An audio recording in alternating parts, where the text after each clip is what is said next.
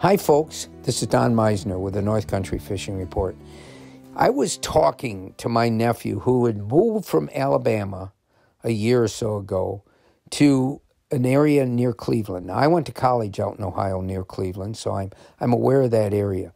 But my nephew Kenny grew up in this area, and I used to take him fishing all the time when he was a kid. And even when he got out of the Marines, we did a TV show one day on the Deer River over by North Lawrence and that that was an incredible show and it's a it's a memory and it's experience I'll share with you sometime because on that day I learned an awful lot. But anyway, we were talking because it was Christmas time and and and Kenny said, "Don, I don't know if you realize it or not." He said, "But people out here are fishing right now in Lake Erie because again, our warm weather hadn't frozen and they were going out and they're fishing walleye."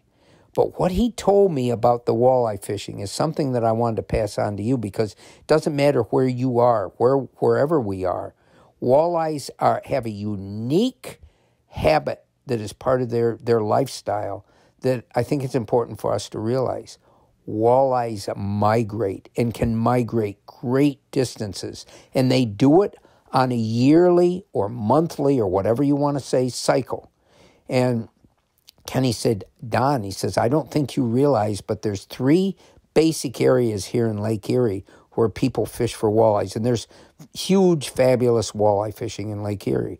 But he says there's the western basin, there's a central basin, and then the, the far eastern basin, which is going back towards Buffalo or back towards Erie, Pennsylvania. And he said, depending on the time of the year, that's where the walleye fishing will be concentrated and they'll follow this migration of these walleyes. Well, I thought about when we first discovered in Lake Ontario, down by Hay Bay, the Bay of Quinte, down in that part on the Canadian side. And people started to discover these huge walleyes that were part of this, this water system. But they came to learn that these walleyes migrated huge distances during the year. They would go all the way up to the St. Lawrence River and when I say up, I'm talking about uh, north to south, not necessarily water flow. And they would they they have their routes. And when we've talked about the walleye fishing around us in the St. Lawrence River, where it's at certain times of the year, maybe the walleye fishing around Massena is better than let's say Ogdensburg. And yet then you'll have times when boy, the right around where the Oswegatchie River comes in and that whole region near Ogdensburg, the, the, the fish have moved. And also, they move from one side of the river to the other. So at some times of the year, the, the fishing on the Canadian side is superior to on the U.S. side. But the real point that I want to, to sort of discuss is the fact that walleyes are always on the move. I've told you about a place between Waddington and Massena along the shoreline where in the fall, in the late fall, every year those walleyes are come back to this very same sort of hole, I would say, in the water where the water drops down to about 30 feet and I'm able to cast from shore and catch these fish. They're not there in the spring, at least they don't appear to be. They have gone someplace else, but they have a route that they follow.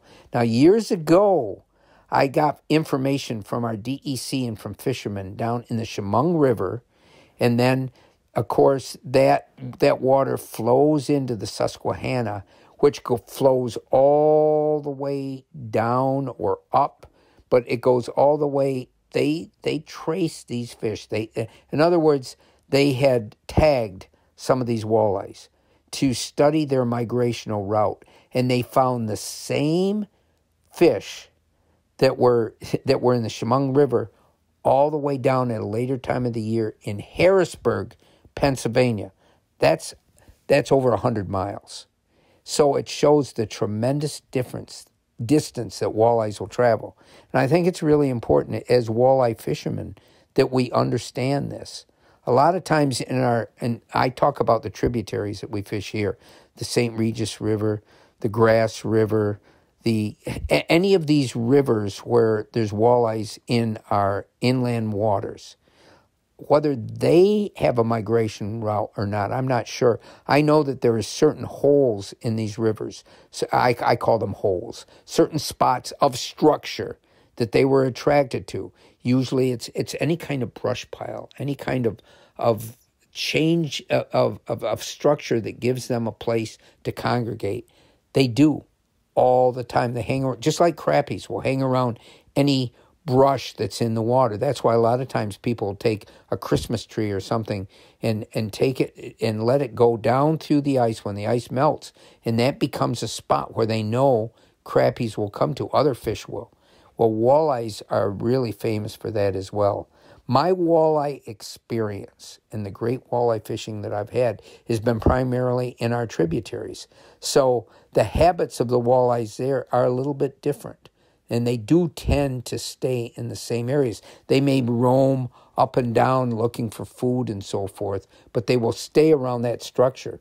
But in bigger bodies of water, walleyes really do follow a migration route. And I think it's important if you're going to concentrate on these waters, that you learn that route because it can help you to be able to follow them and catch more fish more of the time. Until next time, folks, this is Don Meisner with the North Country Fishing Report.